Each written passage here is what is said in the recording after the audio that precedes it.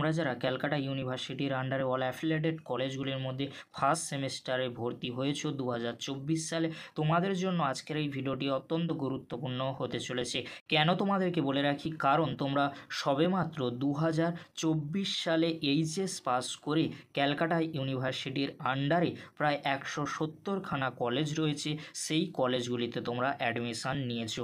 তোমাদের কাছে কিছু অজানা বিষয় রয়েছে, সেই বিষয়গুলি নিয়ে আজকের আমি আলোচনা করে দেব, তাহলে তোমাদের অনেকটাই সুবিধা হবে। চলো বেশি দেরি করব না, এক এক করে ডাউটগুলি আমরা ক্লিয়ার করে নেব। প্রথমেই আসি অনার্স ও জেনারেল কোর্সে। কতগুলি পেপার পড়তে হবে? সাতটি করে তোমাদেরকে পেপার পড়তে হবে। তোমরা যারা জেনারেল কোর্সে ভর্তি হয়েছো, অনার্স কোর্সে ভর্তি হয়েছো টোটাল তোমাদের সাতটি করে পেপার পড়তে হবে। কোন পেপারে কত নাম্বারের পরীক্ষা হয়? চলো আমরা দেখে নিই। তোমাদেরকে বলে রাখি, কোন পেপারে কত মার্কসের এক্সাম হয়ে থাকে? ডিএসসিসি ওয়ান পেপারে তোমাদের পঁচাত্তর মার্কসের এক্সাম হয়ে থাকে। অর্থাৎ সেভেন্টি ফাইভ মার্কসে তোমাদের এক্সাম হবে। আর তোমাদেরকে বলে রাখি এসইসি পঞ্চাশ মার্কসের এক্সাম হবে। তিন নম্বরে যেটি রয়েছে এম এন ওয়ান অর্থাৎ মাইনর পেপারে তোমাদের কত নাম্বারে এক্সাম হবে?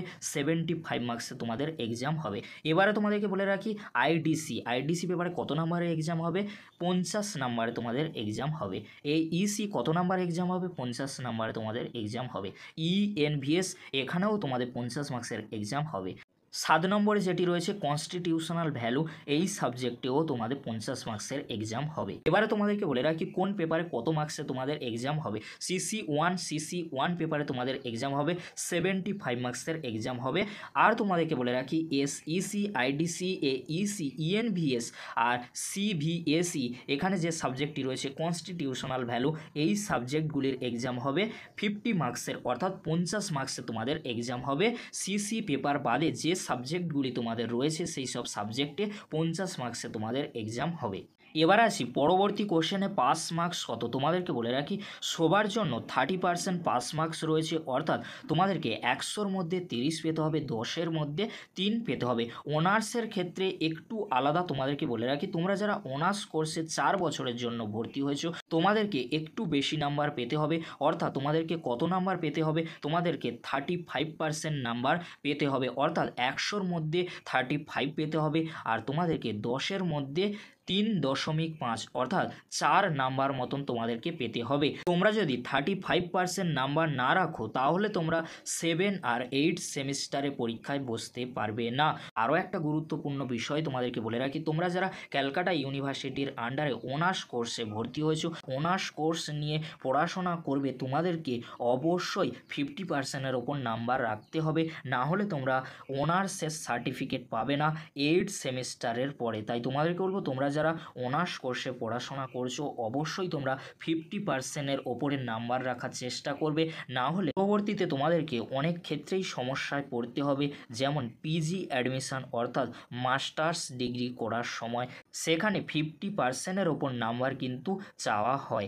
সেই জন্য তোমাদেরকে বললাম ফিফটি পার্সেন্টের ওপর নাম্বার তোমাদেরকে রাখতে হবে। তোমরা যারা অনার্স কোর্সে ভর্তি হয়েছো বিএ বিএসসি বিকমে এবার আসি তোমরা যারা ক্যালকাটা ইউনিভার্সিটির আন্ডারে ফার্স্ট সেমিস্টারে অ্যাডমিশান নিয়েছো, তোমরা জানো না কখন তোমাদের এক্সাম হয়। তোমাদের ফার্স্ট সেমিস্টারে এক্সাম কবে হয়ে থাকে? তোমাদেরকে বলে রাখি, নভেম্বরের এন্ড কিংবা ডিসেম্বর মাসের ফার্স্ট উইক কিংবা সেকেন্ড উইকের দিকে তোমাদের ফার্স্ট সেমিস্টারে এক্সাম হবে। তাই তোমাদেরকে বলব, তোমরা যারা ক্যালকাটা ইউনিভার্সিটির আন্ডারে প্রায় একশো সত্তরখানা কলেজ রয়েছে, এই কলেজগুলিতে তোমরা যদি অ্যাডমিশান নিয়ে থাকো, অবশ্যই তোমরা এক্সাম প্রিপারেশান নিতে থাকো। কারণ তোমাদের এক্সাম নভেম্বর এন্ড কিংবা ডিসেম্বর মাসের দিকে হওয়ার সম্ভাবনা প্রবল রয়েছে। এবার তোমাদেরকে বলে রাখি ইন্টারনাল টিউটোরিয়াল এক্সাম কবে হয়ে থাকে? ইন্টারনাল টিউটোরিয়াল এক্সাম তোমাদের কলেজে নেওয়া হয়, তাই তোমাদেরকে হলো চিন্তা করার কোনো বিষয় নেই কলেজের তরফ থেকে তোমাদেরকে জানিয়ে দেওয়া হবে। তবে তোমাদেরকে বলে রাখতে পারি ফার্স্ট সেমিস্টারে ইন্টারনাল টিউটোরিয়াল এক্সাম হয়, অক্টোবর বা নভেম্বর মাসের দিকে তোমরা ভালো করে কলেজের ওয়েবসাইটটি প্রতিনিয়ত চেক করবে। তোমাদের কলেজের তরফ থেকে নোটিশ দিয়ে জানিয়ে দেওয়া হবে কবে ইন্টারনাল টিউটোরিয়াল এক্সাম হবে। আর তোমাদেরকে বলে রাখি, ক্যালকাটা ইউনিভার্সিটি সংক্রান্ত যাবতীয় update exam related result related যে কোনো আপডেট তোমরা সবার আগে আমাদের চ্যানেলে পেয়ে যাবে। তাই তোমাদের করল তোমরা আমাদের চ্যানেলটি ফলো করতে পারো আর সাবস্ক্রাইব করে রাখতে পারো আর বন্ধুদের মাঝে বেশি বেশি করে শেয়ার করে দিও। এরকমই গুরুত্বপূর্ণ আপডেটগুলি তোমরা সব সময় আমাদের চ্যানেল থেকে পেয়ে যাবে। এবার আসি পরবর্তী কোশ্চেনে কোন বছরে প্রশ্নপত্র গুরুত্বপূর্ণ সাজেশন কোথায় পাবে? তোমাদেরকে বলে রাখি, তোমাদের জন্য কোনো বছরের প্রশ্নপত্র গুরুত্বপূর্ণ নয়, কারণ দু হাজার তেইশ সাল থেকে সিসিএফের আন্ডারে এক্সাম হচ্ছে। সেই জন্য তোমাদেরকে বলব দু হাজার তেইশ সালে প্রশ্নপত্রটি তোমরা সংগ্রহ করে নেবে। তোমরা যারা ইতিহাস অনার্স সাবজেক্টটি নিয়েছো, এছাড়াও আর্টসের যে কোনো সাবজেক্ট তোমাদের রয়েছে, সেই সব সাবজেক্টের প্রিভিয়াস ইয়ার প্রশ্নপত্র question pattern syllabus suggestion notes সমস্ত কিছু তোমরা আমাদের চ্যানেলে পেয়ে যাবে। আর তোমরা যারা ইতিহাস অনার্স সাবজেক্টটি নিয়েছো, তোমরা আমাদের চ্যানেলকে ফলো করতে পারো। ইতিহাস অনার্সে সমস্ত কিছু তোমরা আমাদের চ্যানেল থেকে পেয়ে যাবে। এছাড়াও তোমরা ইতিহাস, রাষ্ট্রবিজ্ঞান, শিক্ষাবিজ্ঞান, দর্শন সোশিওলজি এই যে সাবজেক্টগুলি রয়েছে, সব সাবজেক্টের প্রশ্নপত্র কোশ্চেন প্যাটার্ন সিলেবাস এছাড়াও সাজেশন নোট সমস্ত কিছু তোমরা আমাদের চ্যানেল থেকে পেয়ে যাবে।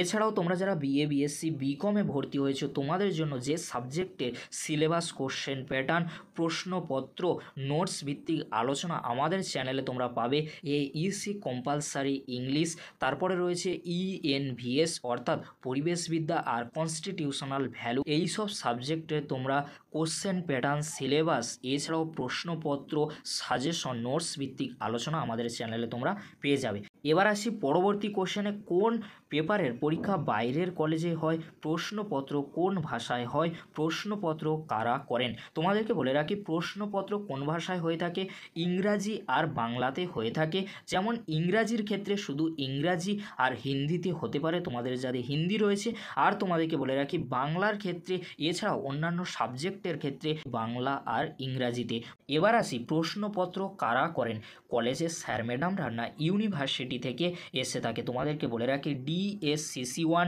বা SEC one M N one এই যে পেপারগুলি রয়েছে, এই পেপারের প্রশ্নপত্র ইউনিভার্সিটি থেকে এসে থাকে। তোমাদেরকে আবারও বলে রাখি, তোমরা যারা জেনারেল কোর্সে পড়ছো, তোমাদের CC one paper CC one paper SEC one paper, আর তোমরা যারা অনার্স কোর্সে পড়ছো DSCC one SEC one M N one এই পেপারের প্রশ্নপত্র এসে থাকে ইউনিভার্সিটি থেকে। এছাড়াও যে প্রশ্নপত্রগুলি ইউনিভার্সিটি থেকে এসে থাকে, এ ইসি ইএনভিএস আর সিবিএসই অর্থাৎ কনস্টিটিউশনাল ভ্যালু সাবজেক্টে বা পেপারে তোমাদের প্রশ্নপত্র ইউনিভার্সিটি থেকে এসে থাকে। আইডিসি পেপারে তোমাদের এক্সাম অনেকটাই আগে নিয়ে নেওয়া হবে, অর্থাৎ টিউটোরিয়াল ইন্টারনালের সময়।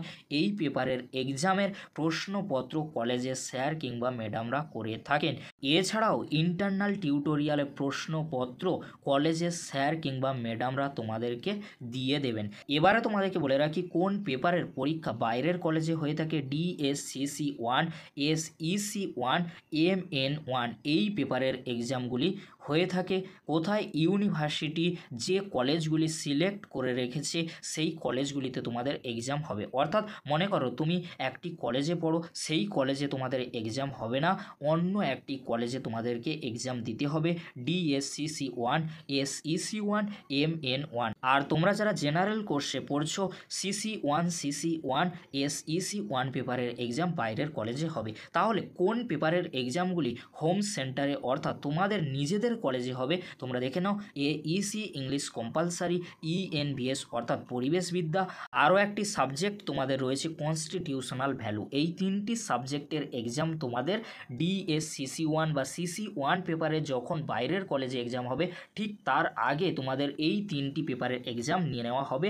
ক্যালকাটা ইউনিভার্সিটির তরফ থেকে নোটিশ দিয়ে জানিয়ে দেওয়া হবে কবে থেকে তোমাদের এক্সাম শুরু হবে। প্রথমে তোমাদের এই তিনটি পেপারের এক্সাম হবে, তার পরবর্তীতে তোমাদের জেনারেল কোর্সে বা অনার্স কোর্সে যে সাবজেক্টগুলি রয়েছে, সেই পেপারগুলির এক্সাম বা সেই সাবজেক্টগুলির এক্সাম তোমাদের বাইরের কলেজে দিতে যেতে হবে। আর আইডিসি পেপারের এক্সাম তোমাদের ইন্টারনাল বা টিউটোরিয়াল এক্সামের সময় নিয়ে নেওয়া হবে।